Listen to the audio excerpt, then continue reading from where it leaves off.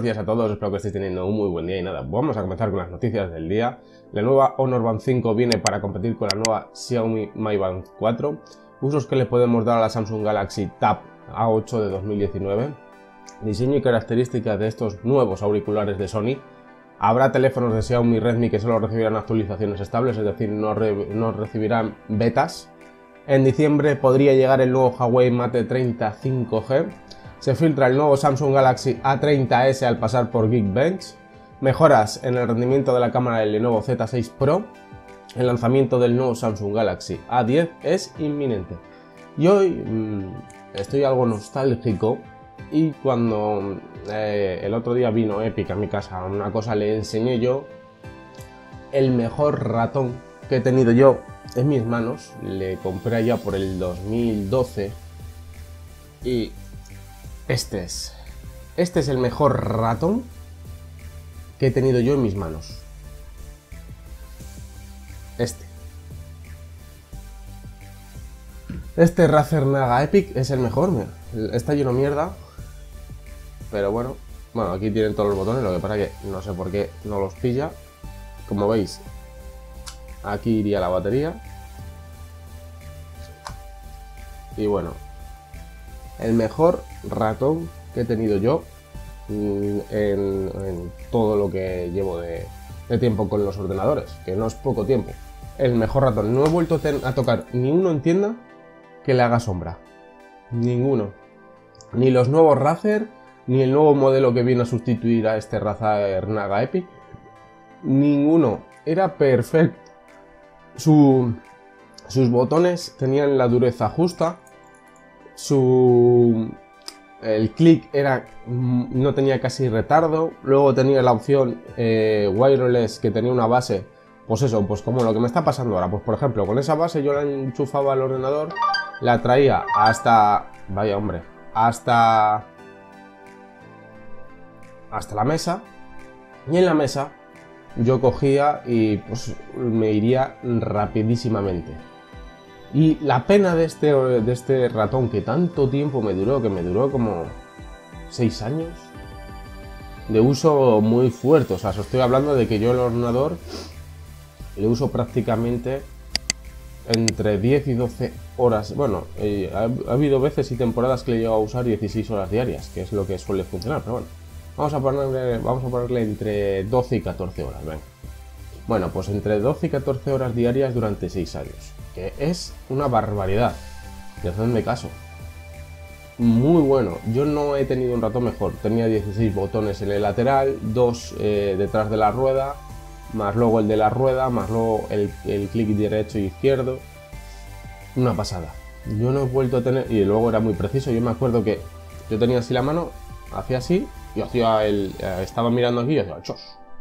Tenía una sensibilidad, si no me acuerdo, de, de 16.000 dpi si no recuerdo mal, si no era más, que ahora ya no veo ratones tan sensibles. Los veo como máximo de 16.000, cuando eh, después de este yo me acuerdo que hubo Razers de 32.000 o 36.000, no me acuerdo ahora bien. O sea, de bastante más sensibilidad. Y ahora como que hemos vuelto otra vez a los 16.000, como que eran demasiado. Ya no me voy a meter en el modo RGB, que era totalmente controlable, tenías también controlable las macros, lo tenías todo, era una pasada. Yo de verdad que no he visto un ratón tan bueno como este. Y bueno, hoy me apetecía hablaros de él, porque sinceramente, eh, cuando tienes, has tenido uno de los mejores ratones que has tocado nunca y que hoy a día de hoy sigues tocando, es que el otro día, cuando fui a MediaMark, vi el Logitech, el G50, no, el nuevo este, que tiene, tiene un botón exclusivamente, la rueda esta, pues tú puedes o tenerla loca, que tú le das y empieza a girar como una loca, o la puedes tarar, por decirlo de alguna manera. Es que en ninguna de las dos versiones me gustaba, demasiada sensibilidad y no era configurable. Porque en la rueda loca hacías, pegabas un poco un pequeño giro y te bajaba hasta abajo de golpe. Y, el, y tarada igual. Solamente que la rueda no giraba a lo loco. No sé, mm, yo creo que no se ha vuelto a hacer un ratón tan bueno como este. Y por eso quería hablar. Yo ahora, por ejemplo, para que veáis, o sea, el cambio que di. Tengo un Big Teams de estos de, Amazon que no valen para nada, pero bueno, por lo menos la función me sirve. Entonces, a veces cuando yo me quejo de falta de botones es porque yo he pasado de tener un Razer a este. Un Razer pues con 22 mm, botones o 20 botones a uno con 4 mm, botones. Entonces, pues te quedas en plan de... Ah". Pero para que veáis que yo cuando os digo algo de es que da mucha ventaja, es que jugar con eso da mucha ventaja, es porque lo sé. Yo este fue el único eh, ratón que he tenido, pues eso, que podía usar macros y demás. Yo reconozco que si eres bueno con un ratón cutre, cuando agarres uno muy potente, eres Dios. Yo lo reconozco, eso es así. Por eso mismo, a todo el que quiera ser alguien en un videojuego, le recomiendo que empiece con un ratón bueno y si vale esto con un ratón malo, y si vale para ello, que entonces ya desembolse un dinero. Porque a lo mejor desembolsas un dinero, te acostumbras a jugar siempre con macros y demás, que no es lo idóneo. Porque entonces no mejoras, no te enfrentas a gente que va con más ventajas que tú y, y no mejoras. Porque probablemente seas tú el que lleves ventaja o estés igualado. Entonces yo os recomiendo eso. Por eso muchas veces cuando yo hablo de los profesionales, digo, mira, es que a este profesional tú le quitas los cascos maravillosos esos que tiene, que son capaces de posicionarte en cualquier lado eh, a una distancia de la leche, que te pueden oír venir desde en el juego a lo mejor desde 500 metros que te oyen venir y saben desde dónde vienes, les quitas esos cascos, sobre todo esos cascos, y luego le quitas el ratón y le pones con unos cascos como juega la gente normal y un ratón normal, y no saben jugar la mitad de ellos. Se les ha olvidado cómo se jugaba. Sin esas ventajas, que hacerme caso, son ventajas, no sabrían jugar. Y os lo dice alguien que ha tenido el ratón. A mí me costó mucho acostumbrarme al nuevo ratón. Yo, por ejemplo, cuando aquello jugaba mucho al LOL, incluso jugaba al Héroes, y me costó mucho. Porque era, para las, las habilidades normales yo tenía el 1, 2, 3, para el AR tenía el, para la R tenía el de delante, el de detrás era para la pasiva o la, o la que se podía activar. Y claro,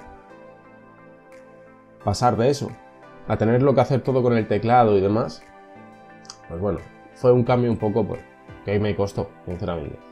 Y luego puedes añadirle perfiles, pues esta configuración para el Guild Wars, esta configuración para el Héroes, y el software automáticamente te lo identificaba. O sea, es una pasada.